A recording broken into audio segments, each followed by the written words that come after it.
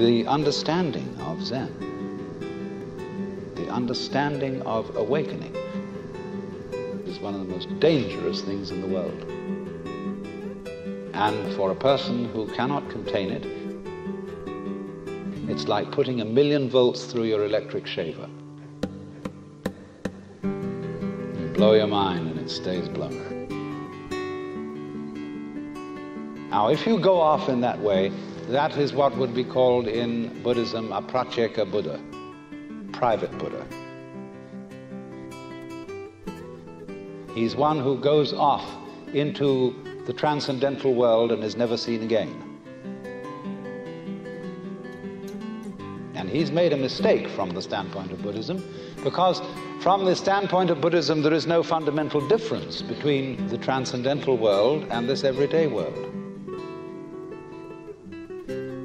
The Bodhisattva, you see, who doesn't go off into a nirvana and stay there forever and ever, but comes back and lives ordinary everyday life to help other beings to see through it too.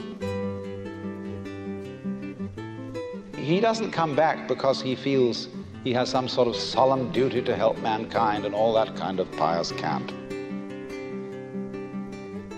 He comes back because he sees the two worlds are the same. He sees all other beings as Buddhas. He sees them, to use a phrase of G.K. Chesterton's, but now a great thing in the street seems any human nod.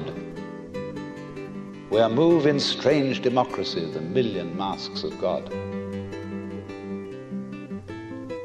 And it's fantastic to look at people and see that they really, uh, deep down, are enlightened. They're it. Their faces are the divine.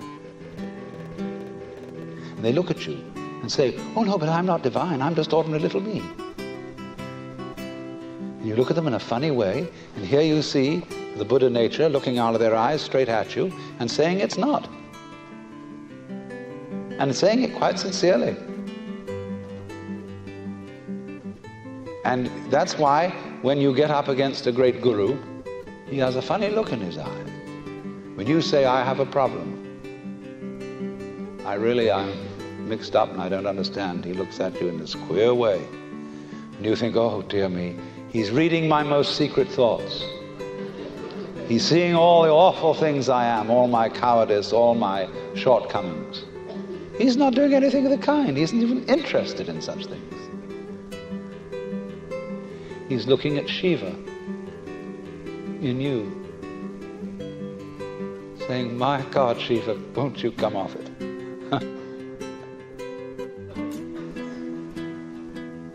if you really understand that Zen, that Buddhist idea of enlightenment, is not comprehended in the idea of the transcendental, neither is it comprehended in the idea of the ordinary. Not in terms of the infinite, not in terms of the finite. Not in terms of the eternal, not in terms of the temporal, because they're all concepts. The most ordinary sights and sounds and smells, the texture of shadows on the floor in front of you. All these things without being named and saying, that's a shadow, that's red, that's brown, that's somebody's foot. When you don't name things any longer, you start seeing them. And it is only through stopping, fixing conceptions on the world of color and sound that you really begin to hear it and see it.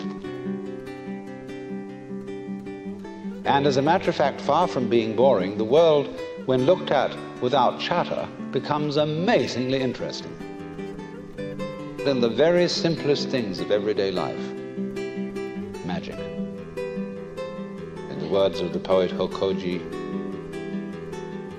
marvelous power and supernatural activity. Drawing water, carrying wood.